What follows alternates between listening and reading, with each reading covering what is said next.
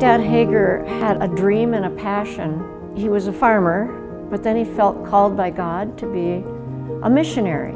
So he said, well, send me where no one else wants to go. And they sent him to North Dakota. but he wasn't like a driven person, Grandpa Hoeger.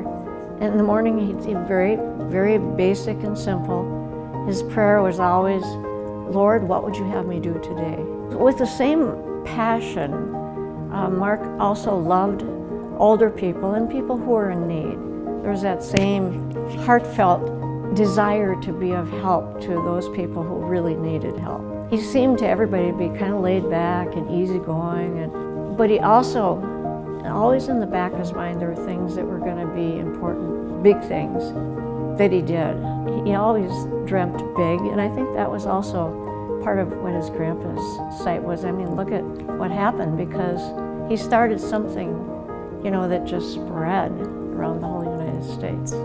He had been elected president, and he heard that this building out here, he heard that that was going to be for sale, and flew out here, and he got there in time to make a deal, not only for the building, but also for the 40 acres of land to the east, which is wow. I mean, look at it today, what it is.